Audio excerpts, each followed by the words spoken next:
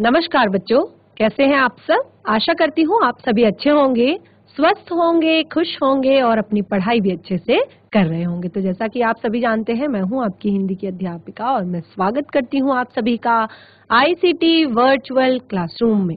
और आज हम यहाँ पर एकत्रित हुए हैं पढ़ने के लिए क्लास टेंथ की हिंदी। क्लास टेंथ की हिंदी में आज हम पढ़ेंगे आपकी क्षितिज पाठ्य पुस्तिका का भाग दो का चैप्टर टेन, जिसका नाम है नेताजी का चश्मा। और ये चैप्टर लिखा गया है स्वयं प्रकाश जी द्वारा। तो स्वयं प्रकाश जी इस पाठ में हमें ये बताना चाहते हैं कि केवल चारों ओर से चारों ओर से सीमाओं से घिरा हुआ जो एक भूभाग है, केवल यही देश नहीं कहलाता है, बल्कि देश कहलाता है, उसमें रहने वाले लोगों से, सभी नागरिकों से पेड़ पौधों से, नदियों से और वहाँ का जो एक, वहाँ की जो संस्कृति है, उससे। और इन सभी से प्रेम करने वाले लोग ही कहलाते हैं देशभक्त। और ये जो पाठ है, इसमें नेताजी का जो चश्मा पाठ ये जो है नामक, इसमें जो कैप्टन की भूमिका जो निभा रहे हैं, कैप्टन नाम के जो व्यक्ति हैं, ये इसी तरह के करोड़ों नागरिकों के योगदान को यहाँ पर हमें रेखांकित करते हुए प्रदर्शित कर रहे हैं, बता रहे हैं कि किस तरह से हमारे देश के करोड़ों लोग अपने देश के प्रति देशभक्ति, जो हमारे देश की समृद्धि चाहते हैं, हमारे देश से प्रेम करते हैं। इस तरह से वो हमारे देश के प्रति, अपने देश के प्रति, अपनी जो देशभक्ति है, उसको प्रदर्शित कर रहे हैं। तो हम ये चैप्टर पढ़ेंगे और इसमें जानेंगे कि किस तरह से जो कैप्टन है, जो एक चश्मे बनाने वाला जो एक व्यक्ति है, वो किस तरह से अपनी तरफ़ से अपने अपने देश के प्रति, अपने प्रेम को व्यक्त करता है, अपने देश के प्रति, अपनी भक्ति को व्यक्त करता है। और भी बहुत सारी बातें इस पाठ में हमें पढ़ने को और समझने को मिलने वाली हैं। तो चैप्टर बहुत ही ज़्यादा इंटरेस्टिंग है और उससे ज़्यादा महत्वपूर्ण भी है। तो हम शुरू करेंगे। आज का सेशन चलेंगे स्मार्ट बोर्ड की तरफ़। सभी बच्चे ध्यान से पढ़ेंगे। हर बार की तरह चैप्टर शुरू करने से पहले हम पाठ के लेखक के बारे में थोड़ा सा उनका जीवन परिचय हम पढ़ेंगे।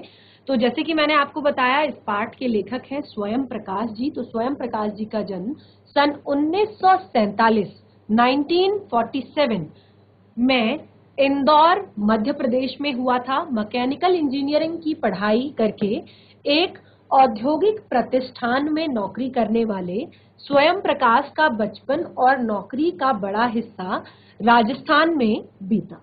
फ़िलहाल स्वैच्छिक सेवानिवृत्ति के बाद वे भोपाल में रहते हैं और वसुधा पत्रिका के संपादन से जुड़े हुए हैं। आठवें दशक में उभरे हुए स्वयं प्रकाश आज समकालीन कहानी के महत्वपूर्ण हस्ताक्षर हैं।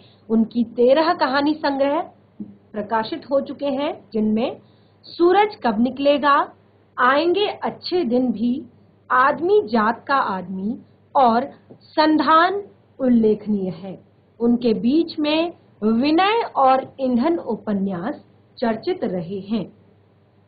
और इन्हें पहल सम्मान, बनमाली पुरस्कार, राजस्थान साहित्य साहित्य अकादमी पुरस्कार और भी पुरस्कारों से पुरस्कृत किया गया है।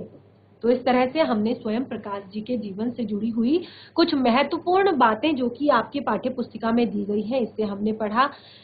बाकी का जो जीवन परिचय है, ये आप अपनी पाठ्य पुस्तिका से पढ़ सकते हैं और जैसे कि मैंने आपको बताया, जो ये हमारा चैप्टर है, ये देश के प्रति, यहाँ पर हमें बताया गया है कि केवल हम चारों तरफ़ से सीमाओं से घिरा हुआ भूभाग अगर है तो केवल हम उसे देश नहीं कहेंगे। एक देश बनता है, वहाँ पे रहने वाले नागरिकों से, वहाँ की वहाँ की संस्कृति, वहाँ की सभ्यता से, वहाँ की नदियों से, वहाँ के पेड़ पौधों से, वहाँ के एक अलग जो वातावरण उसको बनाता है उस संस्कृति से।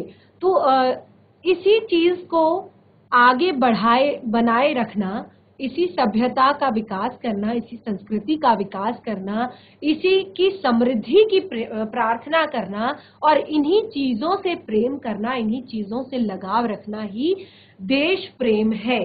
जब हम अपने देश की चीज़ों का सम्मान करते हैं, अपने देश की चीज़ों से प्रेम करते हैं, अपने देश की समृद्धि चाहते हैं तो वही हमारा देश के प्रति प्रेम, यानी कि देश प्रेम कहलाता है। तो यहाँ पर जो नेताजी का चश्मा है, ये नेताजी के चश्मे के माध्यम से जो कैप्टन नाम का एक व्यक्ति है, वो किस तरह से चश्मे बना बनाकर नेताजी की उस बिने, बिना चश्मे वाली मूर्ति पर चश्मा लगाता है। तो बहुत ही ज़्यादा इंटरेस्टिंग चैप्टर है, आप पढ़ेंगे, आपको बहुत ही आनंद भी इस चैप्टर को पढ़ने में आने वाला है और बहुत ही बातें, अच्छी बातें भी आप इस पार्ट से सीखने वाले हैं। तो हम शुरू करेंगे चैप्टर हवालदार हवा हवालदार साहब को, हालदार साहब को हर पंद्रहवें दिन कंपनी के काम के सिलसिले में उस कस्बे से गुजरना पड़ता था। जो हालदार साहब थे, वो हर पंद्रह दिन में अपनी कंपनी के काम से उस कस्बे से, यानी कि उस गाँव के उस शहर के, उस इलाके से गुजरना पड़ता था। वो कस्बा बहुत बड़ा नहीं था जिसे पक्का मकान कहा जा सके। और वो कस्बा जो था जहाँ से वो गुजरते थे वहाँ पर ऐसा कोई बहुत बड़ा भी नहीं था वो कि जिसे पक्का मकान कहा जा सके। वैसे कुछ ही मकान और बाज़ार कहे जा सके वैसा एक बाज़ार था जिसे जिसपे कुछ मकान थे और कुछ आ, कुछ दुकानें थी जिन्हें बाज़ार कहा जा सकता था। तो वैसा एक बाज़ार वहाँ पर था। कस्बे में एक लड़कों का स्कूल एक लड़कियों का स्कूल एक सीमेंट सीमेंट का छोटा सा कारखाना और वो जो कस्बा था, उसमें खास चीज़ें जो थी मेन चीज़ें जो थी, वो केवल कुछ ही थी। जैसे कि एक बॉयज़ स्कूल था, एक गर्ल्स स्कूल था, एक सीमेंट का छोटा सा कारखाना था और एक दो ओपन एयर सिनेमा घर और एक ठो नगर पालिका भी थी। तो यही चीज़ें उस कस्बे की खासियत थी, यही चीज़ें उस इलाके में मेन थी। नगर पालिका थी, कुछ न कुछ करती भी रहती थी, कभी कोई सड़क पक्की करवा दी तो कभी कुछ पेशाब घर बनवा दिए। कभी कबूतरों की छतरी बनवा दी तो कभी कभी कवि सम्मेलन करवा दिया। एक छोटी सी नगर पालिका थी और वो अपने ही हिसाब से जितनी वो छोटी थी, उसी हिसाब से वो अपनी काम अक्सर करा दिया करती थी उस एरिया में, उस कस्बे में। इसी नगर पालिका के किसी उत्साही बोर्ड या प्रशासनिक अधिकारी ने एक बार शहर के मुख्य बाज़ार के मुख्य चौराहे पर नेताजी सुभाष चंद्र बोस की एक संगमरमर की प्रतिमा लगवा दी कि अगर वहाँ पे आ, मतलब था तो कस्बा छोटा सा ही लेकिन शायद इस नगर पालिका के किसी उत्साही बोर्ड या प्रशासनिक अधिकारी, उसमें कोई ऐसा व्यक्ति कभी ट्रांसफ़र होके आया होगा, कहीं बाहर से आया होगा या वहाँ पे नया ज्वाइन किया होगा तो उन्होंने उत्साह के मारे कि चलो हमें अपने शहर के लिए कुछ अलग करना है, अपने कस्बे के लिए कुछ अलग करना है तो उन्होंने शहर का जो मुख्य बाज़ार था, वहाँ का जो मुख्य चौराहा था, उस पर नेताजी सुभाष चंद्र बोस की एक संग मरमर की प्रतिमा लगवा दी और उन्होंने एक प्रतिमा उस मेन चौराहे पर सुभाष चंद्र बोस की लगवा दी। यह कहानी उस प्रतिमा के बारे में है बल्कि उसके एक छोटे से हिस्से के बारे में। ये कहानी जो है यहाँ पर जो आपको कहानी बताई जा रही है ये उस आ, उसी प्रतिमा के बारे में है बल्कि उस प्रतिमा के भी एक छोटे से भाग के बारे में है। बात तो अब पता नहीं, लेकिन लगता है कि देश के अच्छे मूर्तिकारों की जानकारी नहीं होने और अच्छी मूर्ति की लागत अनुमान उपलब्ध बजट से कहीं बहुत ज़्यादा होने के कारण काफ़ी समय उहापोह और चिट्टी पत्री में बर्बाद हुआ होगा और बोर्ड की शासनावधि समाप्त होने की घड़ियों में किसी स्थानीय कलाकार ही को अवसर देने का निर्णय किया गया होगा। तो यहाँ पे एक बात बताई जा रही है, जैसे आपने जब हमने इससे पहले भी एक पाठ आपकी कृतिका जो आपकी पाठ्य पुस्तिका है, उसमें पढ़ा था जॉर्ज पंचम की नाक। और इसमें हम जो प्रशासन का जो एक रहता है कि उन्हें किस तरह से निर्णय लेने हैं, कभी अपने से बड़े अधिकारियों से उन्हें पूछना होता है, कभी कलाकारों को उन्हें ढूंढना होता है तो सरकारी काम जो होता है उसके बारे में बहुत सारी बातें इस पाठ में हमने पढ़ी थी जॉर्ज पंचम की नाक, जो हमारा चैप्टर था तो बिल्कुल उसी से कुछ यहाँ पर कुछ पंक्तियाँ आप देखेंगे, जब आप पढ़ेंगे दोनों को तो कुछ ऐसा लगता है कि सेम पंक्तियाँ इस पाठ में भी आपको यहाँ पर दिखाई गई हैं कि पूरी बात तो पता नहीं है, लेकिन पूरी चीज़ें यहाँ पर कंफर्म नहीं हो पा रही हैं, लेकिन ऐसा लगता है उस मूर्ति को देखकर, जो मूर्ति वहाँ पर लगी हुई है, अगर उस मूर्ति को अभी कोई जानकार व्यक्ति अगर देखता है तो ऐसा लगता है कि देश के अच्छे मूर्तिकारों की जानकारी नहीं होने या अच्छी मूर्ति के लागत के अनुमान और उपलब्धि के बजट से बहुत ज़्यादा होने के कारण या तो ऐसा लग रहा था कि इन लोगों को देश के अच्छी मूर्तिकारों की जानकारी नहीं है कि, क्योंकि देखिए हम सुभाष चंद्र बोस जी जो हैं, वो हमारे देश के एक स्वतंत्रता सेनानी है। और तो सुभाष चंद्र बोस की जो मूर्ति अगर वहाँ पर लगाई जा रही है तो उनके उनकी मूर्ति के बारे में अगर यहाँ पर तो उसमें कोई भी गलती नहीं होनी चाहिए। तो सबसे पहले तो कोई अच्छा मूर्तिकार उन्हें उसके लिए ढूंढना था, लेकिन अगर नहीं है तो फिर शायद ऐसा भी हो सकता है कि उन्हें जो लगा होगा कि ये जो मूर्ति है, इतने लागत में बन जाएगी। लेकिन बाद में पता चला कि अच्छी मूर्ति बनाने का बजट जो है, वो काफ़ी ज़्यादा है और उनका जो अनुमान है, वो काफ़ी कम है। तो इसी चीज़ में और इसी बीच कई बार चिट्ठी पत्री यानी कि उहापोह जो शासन के अंदर चलती है काम काम चलते हैं लेटर्स पास होते हैं एक दूसरे एक दूसरे जगह पर तो इसी चीज़ के कारण और लास्ट में बोर्ड की शासना अवधि कि अब ये बोर्ड समाप्त ही होने वाला है इस शासना अवधि समाप्त होने की अंतिम कुछ घड़ियों में, क्योंकि जो पूरा टाइम था, वो तो इसी चीज़ में निकल गया कि मूर्ति की लागत ज़्यादा हो रही है या अच्छा कलाकार नहीं मिल पा रहा है। तो क्या लास्ट में ये हुआ होगा कि शायद किसी स्थानीय कलाकार को ही अवसर दे देने का निर्णय किया गया होगा।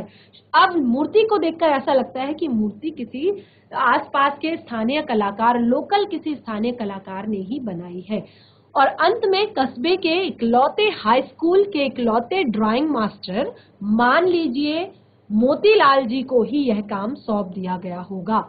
ऐसा लगता है कि अंत में कस्बे का इकलौता हाई स्कूल है और उस हाई स्कूल के इकलौते ड्राइंग मास्टर हैं मोतीलाल जी।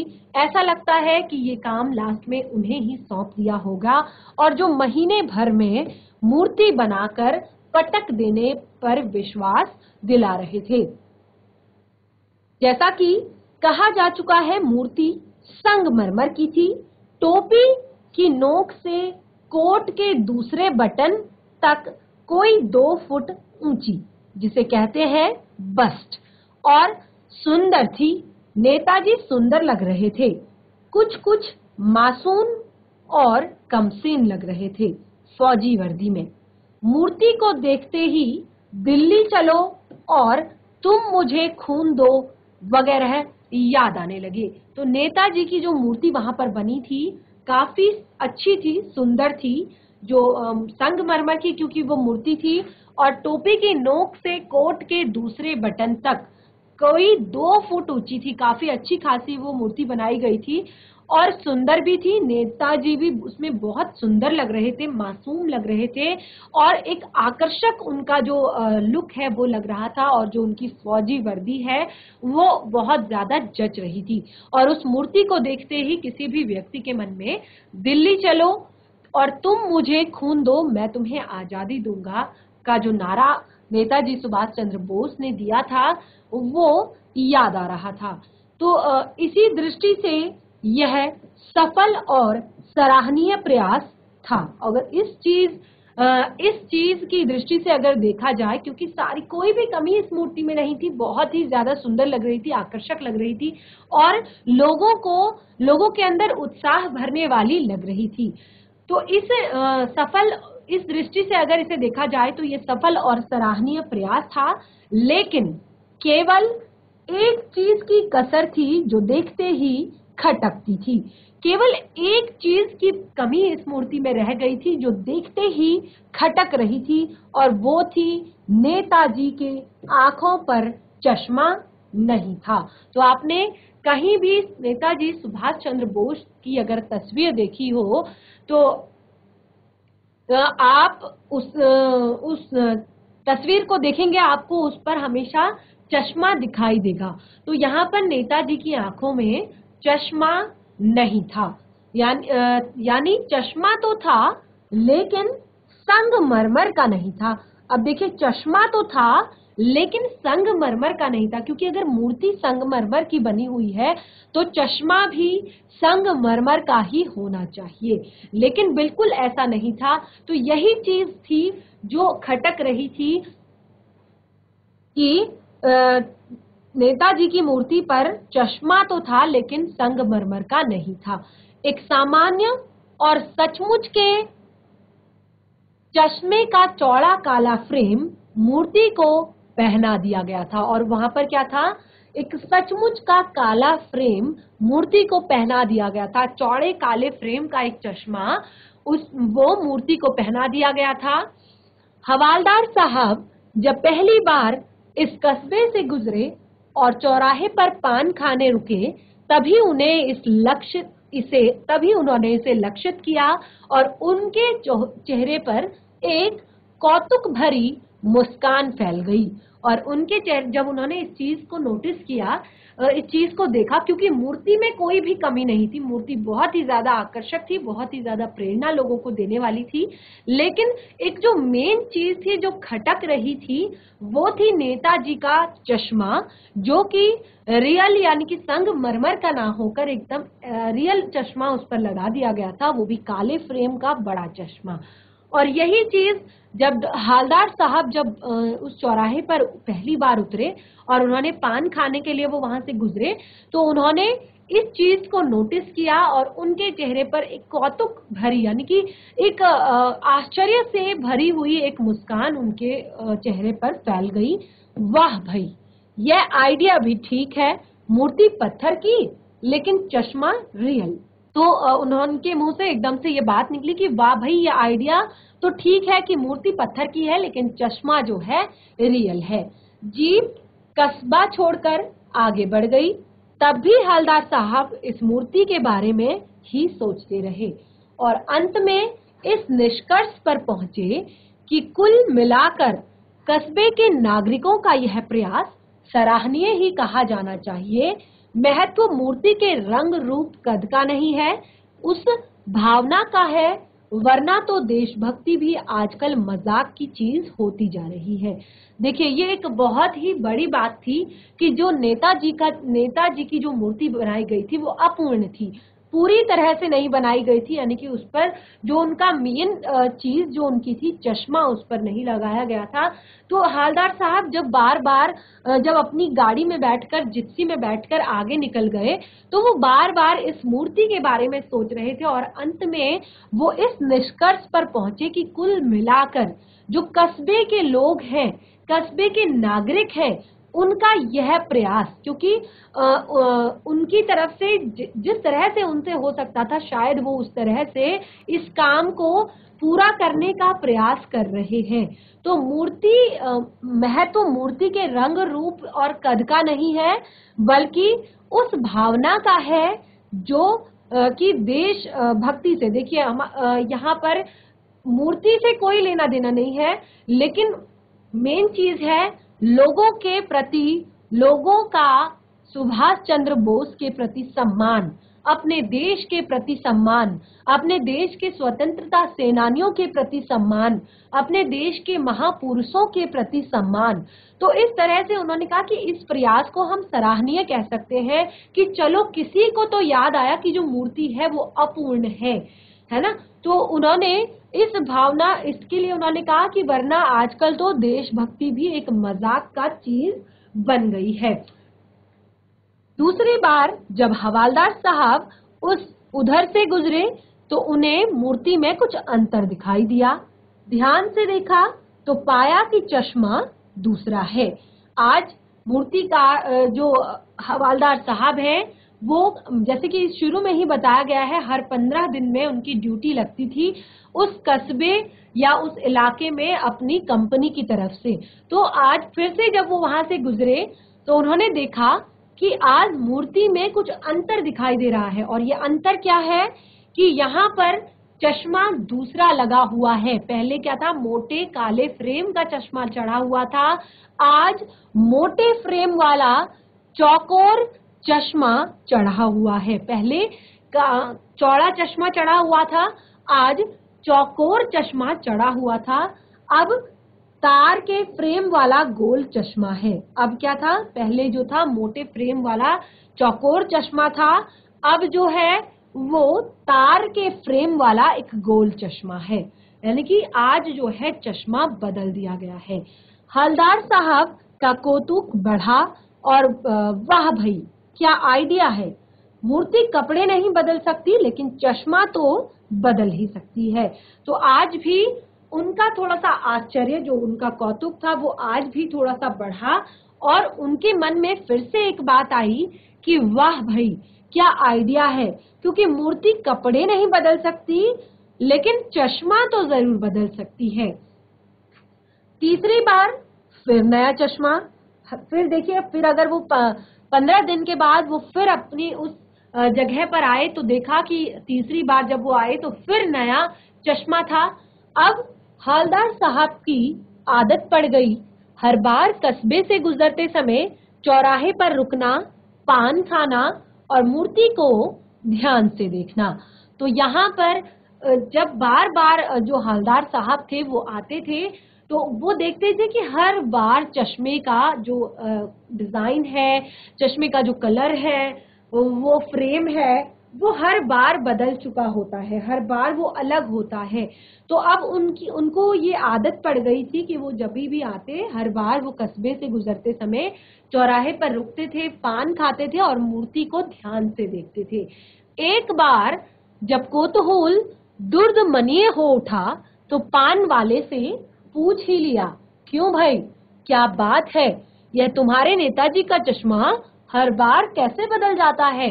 तो वहीं पर चौराहे पर जो पान वाला था, एक बार उनका जो कोतूहल है, वो बहुत ही ज़्यादा दुर्द मनीय हो गया, यानी कि असहनीय हो गया। अब वो अपने उस कोतूहल को, अपने उस एक्साइटमेंट को, अपने उस उत्साह को रोक नहीं पा रहे थे कि आखिर ऐसा क्या होता है कि हर बार नेताजी का चश्मा बदल जाता है? तो पान वाले से उन्होंने पूछा, क्यों भाई? क्या बात है? ये तुम्हारे नेताजी का चश्मा हर बार कैसे बदल जाता है? तो पान वाले ने खुद ही अपने मुँह में पान ठूसा हुआ था। तो सबसे पहले तो पान वाले ने अपने मुँह में भी पान ठूसा हुआ था और वह एक काला, मोटा और खुश मिजाज आदमी था। वो जो आदमी था, वो काला, मोटा और खुश मिजाज आदमी था। हवालदार साहब हालदार साहब का प्रश्न सुनकर वह आँखों ही आँखों में हंसा, क्योंकि उसके मुँह में पान ठुसा हुआ था। लेकिन जब वो हालदार साहब की बातें उसने सुनी तो उसे भी मन में उसको थोड़ा सा प्रसन्नता हुई कि प्रश्न इस तरह का पूछा गया है। उसकी तोंद थिरकी, यानी कि वो थोड़ा सा हंसा अपने मन में। पीछे घूमकर उसने दुकान के नीचे पान थूका और फिर अपनी लाल काली बत्ती सी दिखाकर बोला, कैप्टन चश्मे वाला करता है। तो यहाँ पर नेताजी का जब आश्चर्य बहुत ज़्यादा बढ़ गया था तो उन्होंने पान वाले से पूछा कि, भाई, ये चश्मा कैसे बदल जाता है? तो पान वाले ने स्वयं के मुँह में भी पान ठूसा हुआ था और वो एक काला, मोटा, खुशमिजाज आदमी था। हवलदार साहब का प्रश्न सुनकर वो हंसा। थोड़ा सा उसके अंदर खुशी। आपने देखा होगा कि जो पान वाले होते हैं उनको आ, आ, आप इमेजिन कर सकते हैं। तो उसी तरह का एक व्यक्ति यहाँ पर था थोड़ा सा मजाकिया था। तो वो आँखों ही आँखों में थोड़ा सा हंसा और उसकी तोंद थिरकी। यानी कि तोंद थोड़ा सा हिली उसकी मोटी तोंद वाला व्यक्ति था और पीछे घूमकर उसने दुकान के नीचे पान थूका और लाल काली बत्ती सी दिखाकर बोला कैप्टन चश्मे वाला करता है। यानी कि ये काम जो है कैप्टन चश्मे वाला करता है। क्या करता है? हवालदार साहब ने को कुछ समझ में नहीं आया। चश्मा चेंज कर देता है, पान वाले ने समझाया। पान वाले ने समझाया कि जो कैप्टन चश्मे वाला है, वो हर बार चश्मा चेंज कर देता है। तो उन्होंने पूछा, क्या मतलब? क्यों चेंज कर देता है? हवालदार साहब अब भी नहीं समझ पाए। कोई गिराक आ गया, समझो। उसे चौड़े चौखट का चाहिए। तो कैप्टन किधर से लाएगा? तो उसको मूर्ति वाला दे दिया, उधर दूसरा बिठा दिया। अब हवालदार साहब को बगैर अब हवालदार साहब को कुछ कुछ समझ में, बात कुछ कुछ समझ में आई कि एक चश्मे वाला है, जिसका नाम कैप्टन है। उसे नेताजी की बगैर चश्मे वाली मूर्ति बुरी लगती है, बल्कि आहत करती है। मानो, चश्मे के बगैर नेताजी को असुविधा हो रही हो। इसीलिए वह अपनी छोटी सी दुकान में उपलब्ध गिने चुने फ्रेम के चश्मों में से एक नेताजी की मूर्ति पर फिट कर देता है। लेकिन जब कोई ग्राहक आता है और उसे वैसे ही फ्रेम की दरकार होती है, जैसा मूर्ति पर लगा है तो कैप्टन चश्मे वाला उसे निकाल लेता है। तो अब जो है हवालदार साहब को सारी बातें थोड़ा थोड़ा समझ में आने लगी। उन्हें समझ में आने लगा कि एक चश्मे वाला व्यक्ति है जिसका नाम कैप्टन है और शायद क्योंकि वो कभी भी नेताजी की मूर्ति को बिना चश्मे के नहीं छोड़ता है। तो आ, उसको शायद नेताजी की मूर्ति जो है वो बिना चश्मे बिना चश्मे के पसंद नहीं है बल्कि वो उसको बहुत ज़्यादा दुख पहुंचाती है क्योंकि वो एक अपूर्ण मूर्ति है। एक तरीके से हम देखा जाए तो इसी में इसी में दिखाई देता है कि वो अपने महापुरुषों का, अपने देश के स्वतंत्रता सेनानियों का कितना ज़्यादा सम्मान करता है। अपने देश के प्रति उसका कितना प्रेम है। अपने देश की कितनी ज़्यादा वो समृद्धि चाहता है। अपने देश की संस्कृति को कितनी आगे तक वो लेकर जाना चाहता है। तो अब वो इस तरह से वो नेताजी की चश्म की मूर्ति को बिल्कुल भी बिना चश्मे के नहीं छोड़ता, मानो उसे ऐसा लगता हो कि नेताजी को बिना चश्मे के असुविधा हो रही हो, यानी कि नेताजी देख नहीं पाएँगे अगर वो चश्मा नहीं लगाएगा तो। इसीलिए वो अपनी छोटी सी दुकान में उपलब्ध जो गिने चुने फ्रेम है, क्योंकि वो एक चश्मे वाला है तो शायद बहुत अच्छी उसकी और वो बिल्कुल चौराहे पर दुकान लगाता है एक रेडी टाइप की लगाता है तो शायद उसके पास बहुत सारे एक बहुत ज़्यादा मात्रा में उपलब्ध फ्रेम नहीं है, ज़्यादा मात्रा में उसके पास चश्मे उपलब्ध नहीं है। तो अक्सर क्या होता है कि जब कोई ग्राहक उसके पास आता है और उसको लगता है कि उसको वही चश्मा चाहिए। बिल्कुल उसी तरह का फ्रेम चाहिए, जिस तरह का फ्रेम नेताजी की मूर्ति पर लगा हुआ है।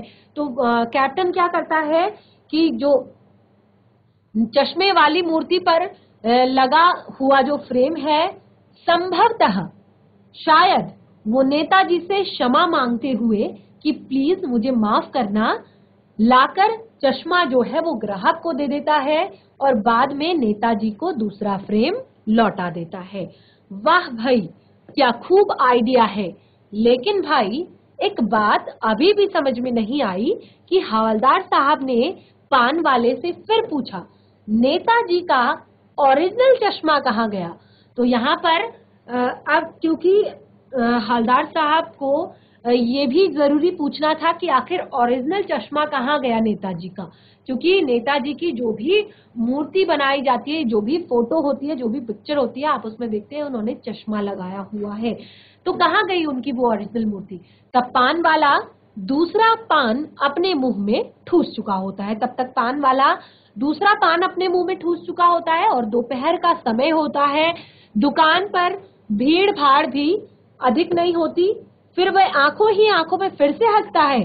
उसकी तोन फिर से थिरकती है और कत्थे की ठंडी फेंक पीछे मुड़कर वो नीचे पीक थूकता है और मुस्कुराता हुआ बोलता है, मास्टर, बनाना भूल गया। तो यहाँ पर जो नेताजी का की जो एक मूर्ति बनाई गई थी संगमरमर पे, उसमें जो कलाकार था, उसमें जो मास्टर था, वो नेताजी का चश्मा ही बनाना भूल गया।